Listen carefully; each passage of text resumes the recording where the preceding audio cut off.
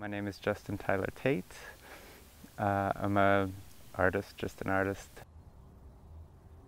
I am from Canada originally. I grew up in the United States. I work internationally and now mostly I'm living in Taiwan. And my work here is uh, looking at the natural space or the existing landscape and combining it with architectural space. I work with pallets a lot. Um, they're super important and you can find them anywhere and they're always pretty much the same. I like them, yeah, they're kind of like a building block for me. I can just assemble them in any configuration to create a myriad of different structures.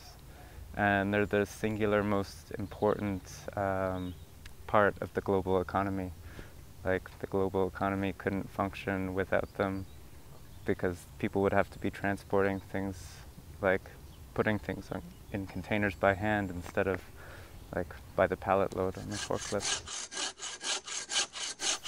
Uh, I think kind of a holistic approach or looking to embrace and create uh, symbiotic relationships between uh, between uh, culture or people and uh, and nature and technology is really important. I mean, I'm not using technology here, but this is what I'm trying to do in my practice: is trying to uh, create this dialogue between these three things because I think it's super important, like uh, for our survival as a species.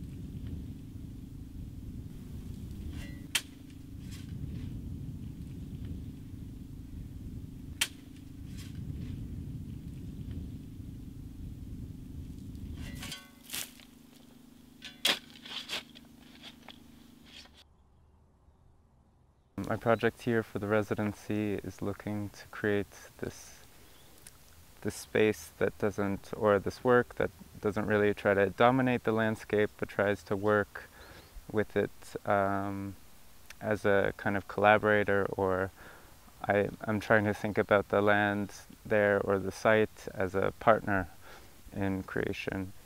For me, it's a great experience, and I'm enjoying working here.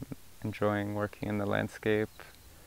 Hopefully, I don't know, I've had some positive responses from visitors that come by and they're really surprised with it as they're like, because of course you don't see anything as you're walking around the path and then you you turn this corner and then there it is and it's this like surprise